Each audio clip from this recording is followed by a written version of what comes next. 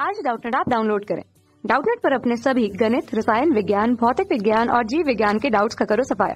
बस प्रश्न की फ़ोटो खींचो, एक ही प्रश्न को क्रॉप करो और तुरंत वीडियो सोल्यूशन पाओ। अभी डाउनलोड करें।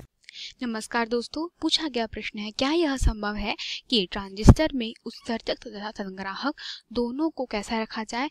अगर अभिनत में रखा जाए तो जैसे कि अगर हम एक ट्रांजिस्टर की बात करें, अगर उसके हमें सक्रिय क्षेत्र में कार्य करवाना होता है तो नॉर्मली हम क्या करते हैं, ट्रांजिस्टर के जो एमीटर वाले भाग है, अर्थात जो उत्सर्जक वाला जो भाग है, उसको क्या करते हैं, उसको, सॉरी, जो एमीटर वाला भाग है हाँ जो उत्सर्जक वाला भाग है, उसको क्या करते हैं? उसको हम लोग अग्र अभिनति में रखते हैं, ठीक है? अग्र अभिनति में और जो हमारा कलेक्टर वाला साइड है, अर्थात इसको कहते हैं उत्सर्जक तो जो उत्सर्जक होता है, वह कैसा होता है? वह होता है पश्य अभिनति में, ठीक है? पश्य अभिनति में, अब इनके जो कह सकते हैं, अगर मान लीजिए कि यह एन पी एन ट्रांजिस्टर है तो क्या हो जाएगा अब कि मान लीजिए मैं इनके बीच में बैटरी बैटरी लगा रही हूँ। तो नॉर्मली हम लोग जो यह हम लोग बात कर रहे हैं, उभयनिष्ठ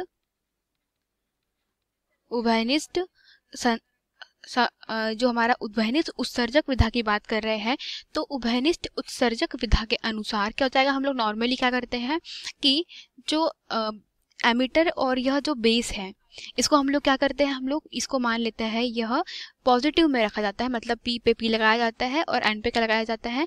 नेगेटिव ठीक है? और अगर हम लोग उत्सर्जक की विधा की बात करें तो हम लोग यहाँ पे नॉर्मली क्या करते हैं? रिवर्स बायस में रखते हैं, अर्थात हम इसको पश्चिम अभिनति में कैसे एन पे, पी दिया जाता है और जो ये वाला टर्मिनल है, उस पर क्या दिया जाता है? एन दिया जाता है। पर प्रश्नानुसार अब हमें क्या करना है? उल्टा करना है। हमारी जो अभिनति है, उसको क्या करना है? परिवर्तित करना है। हमें अब इसे ही कैसे करना है? इसे भी अगर अभिनति में लेना है, कौन से टर्मिनल को?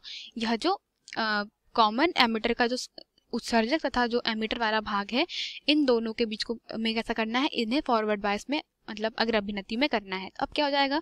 इसे एन को एन दे देंगे और हमारे पास में जो पी वाला साइड है, जो हमारा, जो ये वाला साइड है, उसको क्या देंगे? पॉजिटिव दे देंगे। तो अब क्या हो जाएगा दोस्तों? देखिए, इसके कारण जो आई ई और तथा जो आई बी है आई बी का मान मतलब कुछ इस तरीके से हो जाएगा कि जो सारे कलेक्टर है, यह जो है, यह सीधा एक डायोड की तरह भांति कार्य करने लगेगा और ऐसा प्रतीत होगा कि आईबी का मान कैसा हो जाएगा?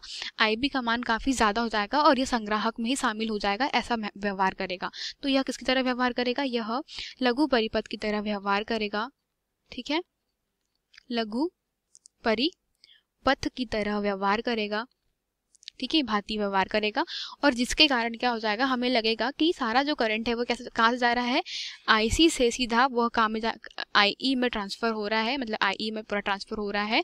और यह कैसे काम करेगा? अब देखिए, जैसे हमें पता है कि जो ग्राफ होता है किसका निर्गत तथा निवेश के बीच में जो ग्राफ होता है, अगर हम लोग आईबी को लेके चले, वह कैसा होता है? वह कुछ होता है इस प्रकार से देखिए।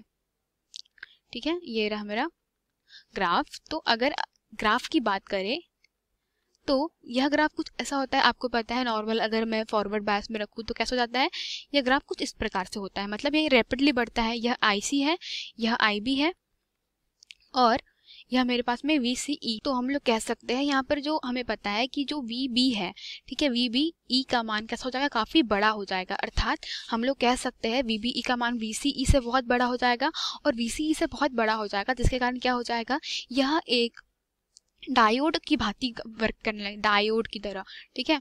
मतलब एक डायोड की भांति क्या करने लगेगा? कार्य करने लगेगा। तो हम लोग कह सकते हैं, अगर यह एक डायोड की भांति कार्य करेगा तो क्या हो जाएगा कि जो वी बी का मान है मतलब जो हमारे बेस में जो वोल्टेज का मान है वी बी का मान है, वह कैसा हो जाएगा? काफ़ी अधिक हो जाएगा किसके रिस्पेक्ट में? वी सी तथा वी ई e के मध्य जो वोल्टेज है, उसमें वी बी का वोल्टेज सबसे अधिक हो जाएगा। तो ऐसा बिहेव करेगा कि जैसे यह डायोड है और सारी सारी सी से जो करंट है डायरेक्ट कहाँ पे पहुँच जाएगी?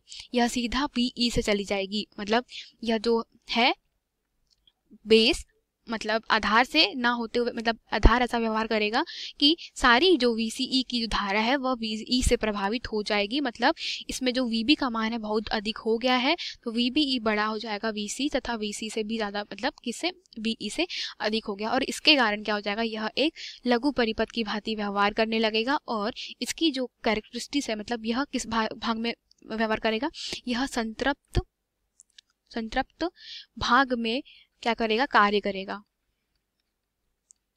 ठीक है दोस्तों तो यही इसका कारण था कि ट्रांजिस्टर में यह दोनों संभव है, परंतु यह क्या हो जाएगा कि इसके कारण क्या हो जाएगा, जो वोल्टेज है वीबीई बेस का जो वोल्टेज है, आधार का जो वोल्टेज है, वो काफ़ी बढ़ जाएगा और इसके कारण क्या हो जाएगा, धारा जो है, वह कहाँ से निकल के सीधे चली जाएगी? वह आईसी से निकल करके सीधा आईई से प्रवाहित हो जाएगी और आई जैसे हमें पता है, हम लोग इसको क्या करते हैं?